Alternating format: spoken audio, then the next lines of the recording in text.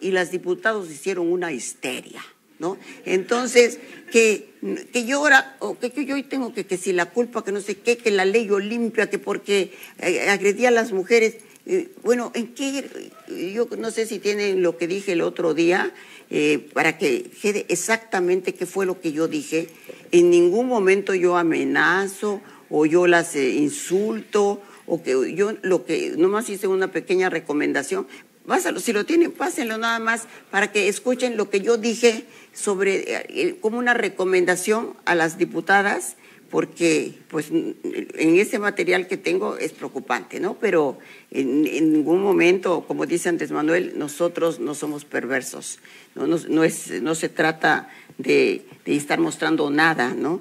Pero, pero todo esto ha desatado bueno, eh, toda una semana de trending topics y, se puso muy divertido. En parte quieren tejer una cortinita de humo, pero a ver el video, ella él como embauca y es muy cautivador, ¿no? Pero yo creo que una les paga la renta, en fin. Pero cuidado, diputadas, ¿eh? porque algunas de ustedes mandaron fotos en, de veras que, pues unas hasta desnudas, entonces pues se las mandan al hito y Cualito con eso las tiene, ¿no? Y creen que él las va a cuidar y, que va a proteger esas fotos. No, no pueden intimidar así con, con este señor porque él no tiene escrúpulos. Así que, pues es nada más una advertencia. Nosotros hemos sido muy cuidadosos de que esas fotos no salgan a la luz, pero yo creo que sí hay que tener mucho cuidado, ¿eh? Eso fue todo lo que dije. Y de ahí, bueno, la ley Olimpia y así es como abrimos Código 7 con las declaraciones de la Elena Sansores San Román, la gobernadora de Campeche, una situación que ha dado tanto de qué hablar y agradecemos porque durante esta noche de jueves sigue con nosotros en, la señal de Canal 7 y manténgase atento también a nuestras redes sociales. Puede enviar sus mensajes a través de WhatsApp 44 48 47 14 58 y así es como abordaremos lo relacionado a la violencia política en razón de género. Y por eso tengo invitadas a las cuales agradezco. Toda la familia Canal 7 agradecemos de corazón que se encuentren aquí. Comienzo, comienzo con Marta Horta Rodríguez, quien es la secretaria de organización del Partido Revolucionario Institucional en San Luis Potosí. Bienvenida, Marta. Muchas gracias, Paulina. Es un honor estar esta noche aquí con ustedes y bueno, vamos a platicar sobre este tema, pero sobre todo sobre los avances que han habido en materia de protección a las mujeres en el ámbito político. Y continuamos, continuamos con la presentación, claro, con Irma Martínez eh, Nieto, quien es la presidenta de Embajadoras de la Paz de Valorarte Mujer. Hace bienvenida. Ay, pues muchas gracias, Paulina. De verdad es un gusto, es un placer estar aquí contigo, compartiendo con mis compañeras Marta Horta, Fátima, estar aquí contigo esta noche. Pues muy agradecida por la invitación. Así es como has mencionado a Fátima Patricia Hernández Alviso, quien es abogada feminista, también defensora de derechos humanos. Mil gracias Fátima por estar en una emisión más de Código 7. Muchas gracias por invitarme, siempre es un placer estar por acá. Muchas gracias. Y bien, quiero eh, que, nos comenten, ustedes eh, tienen toda la experiencia, todo el conocimiento y pueden darle una perspectiva al, auditorio de Código 7. ¿Qué está pasando no? cuando las mujeres somos esta eh, moneda de cambio?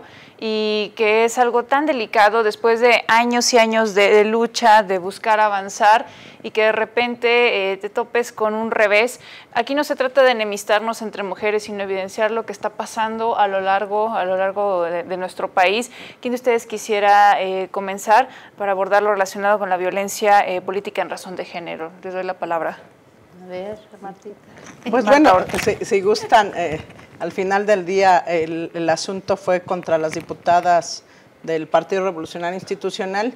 Y, y, yo creo que aquí hay varias cosas que hay que destacar, no solo el que comente que tiene estas fotografías, sino que yo creo que habría de desmenuzar y esto lo he aprendido sobre todo en los talleres que nos dan en el CEPAC o todo lo que hemos trabajado en torno a cómo nos sensibilizamos. Yo misma en el 2016 propuse en el, que se, se, castigara a las personas que difundieran imágenes íntimas en el 187 bis y también en el 178 bis del código, en el 178 del código penal que quien utilizara eh, aparatos electrónicos para engañar a las personas pudiera ser castigado. Entonces, lo comento esto porque después, afortunadamente con la ley Olimpia, que es una, una eh, toda una serie de reformas que se hicieron en torno a, a, tratar de inhibir la violencia digital, porque yo creo que aquí hay que dejar muy claro, cuando se tipifica algún delito, lo hacemos no solo para que se castigue a los agresores,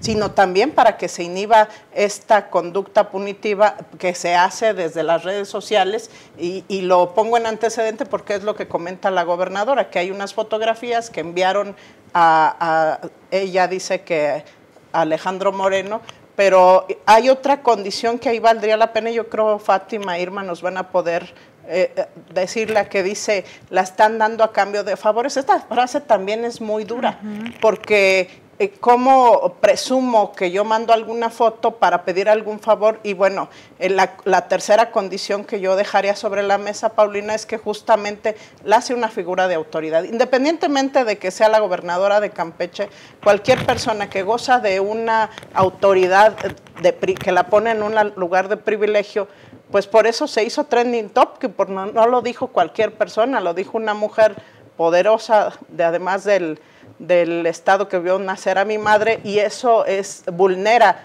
la integridad física y emocional de las personas eh, que ella comentó. Entonces, aquí yo dejaría en esta parte como para contextualizar y recapitular. Una, advertir que tiene fotografías, si las tiene o no también habría que ver cómo las obtuvo. Número dos, que dice que a cambio de favores, como esto todo es que hemos trabajado las mujeres que estamos en el ámbito público, que luego nos cuestionan, está ahí porque se las dio a alguien o por favores. Y número tres, que viene de parte de una figura de mucha autoridad que es una gobernadora. Yo lo dejaría ahí como la introducción para poder platicar con mis compañeras y podamos tener una pues opiniones al respecto. Y que desgraciadamente muchos han estado comentando quién podría estar detrás de, de Laida también y que ella se esté prestando para ello, para confrontarse con el resto de las mujeres, independientemente del aspecto de grilla, Irma Martínez. Sí, pues mira, yo creo que es una lástima, de verdad, o sea, los comentarios eh, el, hecho de eh, evidenciar eh, situaciones que pues no, no sé si le consten, ¿verdad? Que dice ahí tiene, pero creo que nosotros como mujeres debemos ser respetuosas de las mismas mujeres, invitar a que precisamente pues las mujeres que están en, en los puestos de toma de decisión tan importante, pues al contrario, ¿verdad? Eleven el calidad, la calidad de la política, del discurso político y que inviten a las mujeres y a los hombres a trabajar por esa igualdad de derechos que nosotros hemos querido, pero no violentar con nuestras palabras, con nuestros discursos. Yo creo que eso se debe de quedar en el pasado. Creo que aún es tiempo de retomar un nuevo camino para, para México, ¿verdad? En este tema de la violencia, porque sí se ha avanzado en términos de institucionales, este, se ha avanzado, tenemos ya diferentes eh, herramientas, instrumentos en los que las mujeres ya pueden denunciar esa violencia. Pero creo que también como ciudadanas y como decía aquí mi amiga Marta, pues no cualquier, fue cualquier persona la que hizo este comentario y creo que ahí es donde radica, pues para nosotros las mujeres, ese, pues esa, ¿cómo te diré? problemática, ¿no? Que, dices, bueno, las mismas mujeres nos vamos, estamos violentando, no se vale. Queremos que esto cambie y tenemos que seguir fomentando un discurso, yo creo que diferente manera, de diferente manera, de elevar el nivel de la política, respetando, ¿sí? A los contrincantes, a los diferentes partidos políticos. Creo que como sociedad civil eso es lo que queremos, ¿verdad?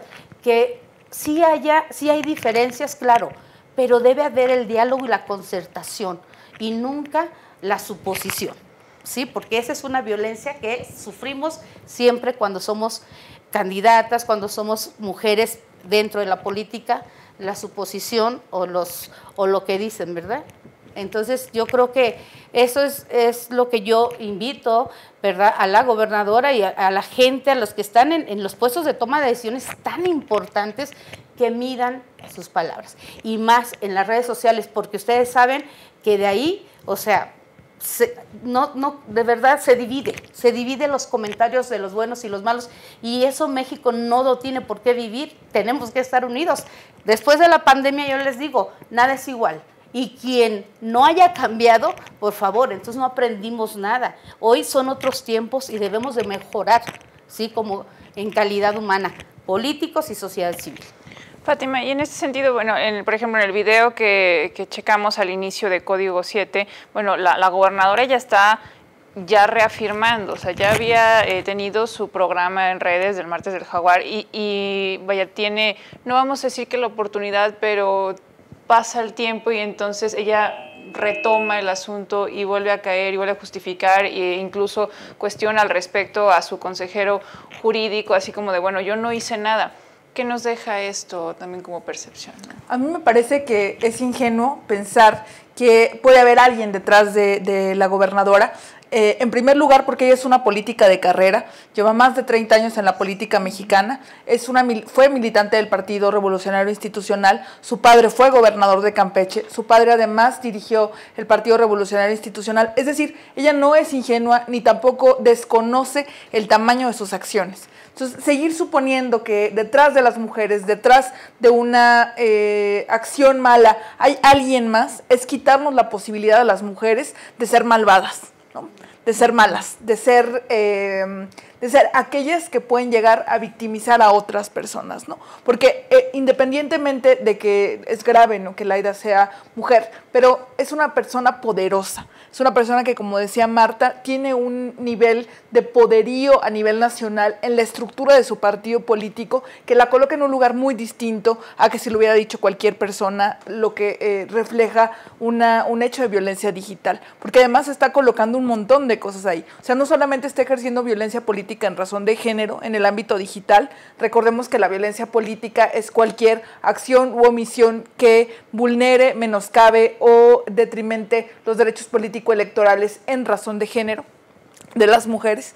Y em, ella lo hace, y además de que lo hace, toma una, em, una dimensión sexual de las diputadas, o sea, eso, eso quiere decir que las mujeres políticas nunca podemos ser solamente mujeres políticas, sino siempre tenemos que ser seres sexuados, ¿no? O sea, eso impide que las mujeres nos desempeñemos eh, de una mejor forma en los cargos públicos, en los ámbitos públicos, porque pareciera que nuestra vida sexual siempre va a ser un tema público.